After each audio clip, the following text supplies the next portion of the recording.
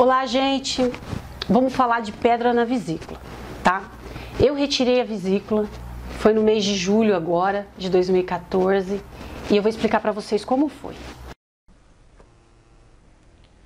Olá, a cirurgia, ela tem uma incisão aqui, uma aqui, uma aqui e uma no umbigo. São os furos feitos para retirar a vesícula via vídeo.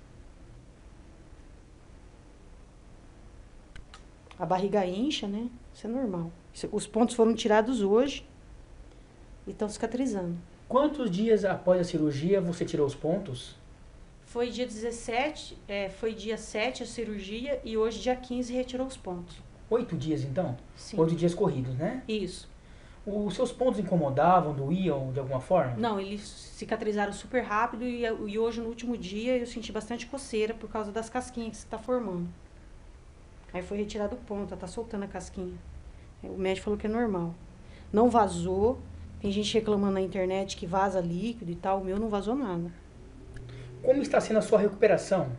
Ótimo. Eu, no segundo dia de, de é, cirurgia, eu já estava dirigindo super bem, já me sentindo super bem, abaixando. Dirigindo carro, moto, dirigindo o quê? Eu dirigia carro. E no terceiro, quarto dia, eu já estava dirigindo moto. Você sabe dizer quanto tempo durou a sua cirurgia?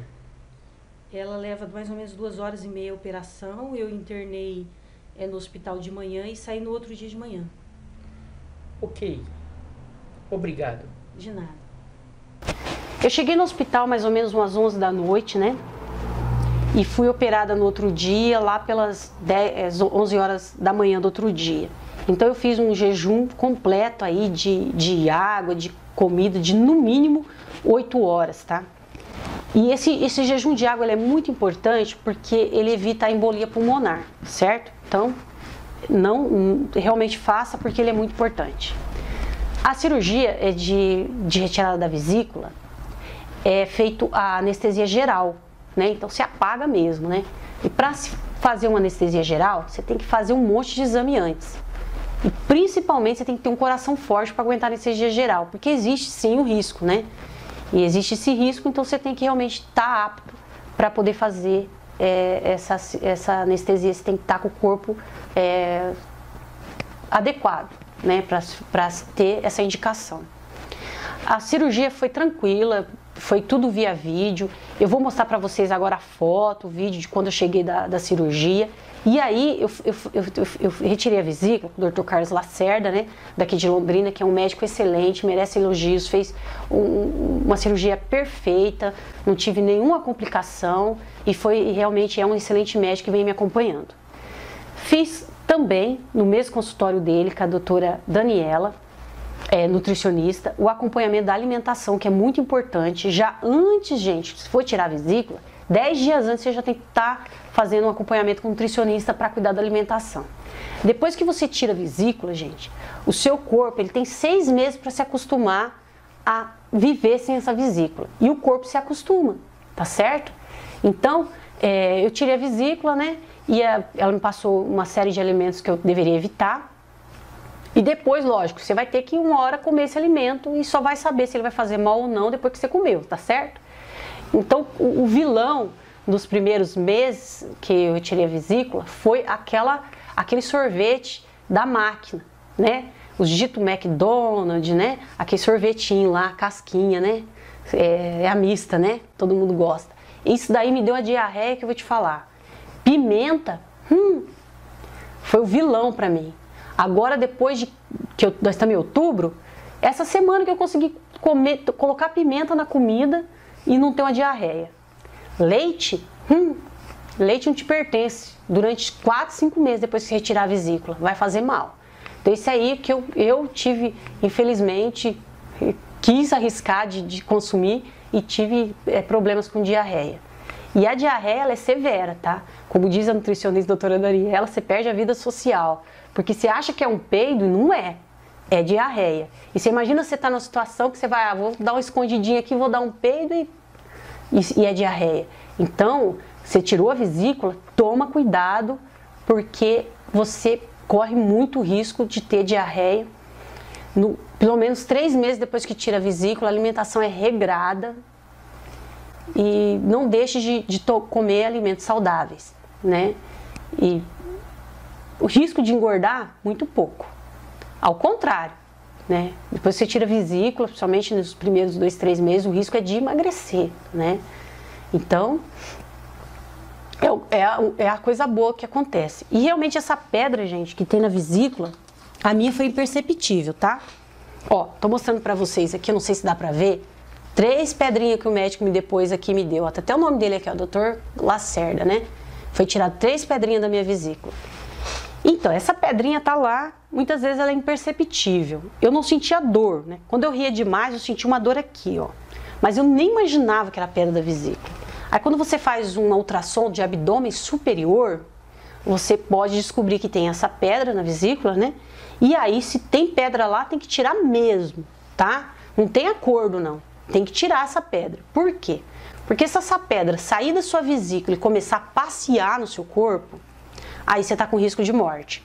Se ela parar no pâncreas, ela destrói o seu pâncreas e você vai a óbito, você morre. Você tem que correr para o hospital é, se você saiu uma pedra da vesícula e entrou no pâncreas.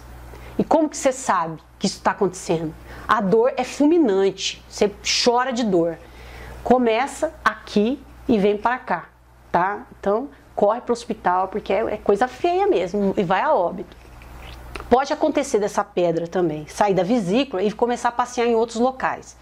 É, se ela parar na boca da vesícula, você já vai começar, ela vai começar a inflamar e a dor é terrível. Então corre para o hospital também. E não se brinca com isso, tá certo? É, é muito grave. Descobriu que tem pedra lá, tira. E se tem pedra na vesícula, não tem pedra no rim. Por quê? Porque primeiro junta na vesícula, depois vai para o rim.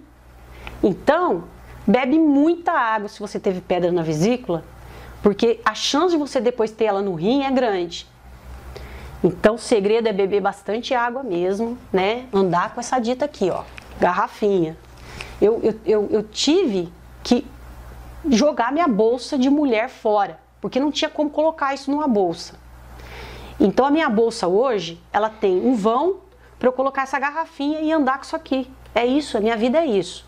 E muito feliz, porque realmente beber água, gente, tira até a vontade de comer, de comer doce. É incrível. Eu comecei a beber água agora que eu levo a sério, né? Depois disso aqui, você tem que levar a sério. Então você toma bastante água e até aquela vontade de comer doce passa. Então beber água é tudo de bom na vida de uma pessoa. Então toma bastante água, se hidrata mesmo para evitar pedras na vesícula e no rim, tá certo? E, e, se, e eu, graças a Deus, eu tirei antes, porque conversando com a maioria das pessoas, dor, a dor que é você ter uma pedra dessa é terrível tá? Ninguém merece. E aí, quando você descobre que tem a pedra na vesícula, sabe o que você tem que fazer? Você tem que tomar Buscopan, e não é pouco não. Você tem que tomar bastante Buscopan. Até você conseguir tirar essa pedra. Porque o Buscopan vai evitar que essa pedra fique passeando no seu corpo, tá? E se você descobrir que está com pedra na vesícula, sabe o que você tem que fazer também? Até você tirar essa pedra, evitar alimentos gordurosos. Porque a sua vesícula vai trabalhar. Se você come um alimento gorduroso, a sua vesícula vai trabalhar mais rapidinho, vai ficar mais ativa e tal. E a probabilidade dessa pedra sair passear é grande. Então, se você já descobriu que está a pedra, não fez a, a cirurgia ainda, evita alimento gorduroso. Isso é tão relativo que até um copo de leite, né, pode ocasionar. Só que não pira não, tá? Toma Buscopan, espera sua cirurgia certinho e ora, né? porque não, essa pedra não pode passear, ela tem que ficar quietinha lá, até ser retirada, tá certo? Um beijo para vocês, ó. Tem a matéria completa aqui, tá? Para você conhecer, falando tudo sobre é, a retirar a, a, vesícula, a, a, pedra na vesícula. Dá um like aí para mim, comente à vontade, é, compartilha esse vídeo no Face, porque não existe material similar a esse contando como foi os riscos de, da pedra na vesícula que são grandes, tá? Então compartilha, compartilha com seus amigos, ajuda as pessoas a ter essa informação. Inscreva-se no nosso canal para você saber tudo sobre saúde, beleza e bem-estar. Eu vou ficando por aqui e um beijo para vocês, ó. Um beijo lá no coração de vocês.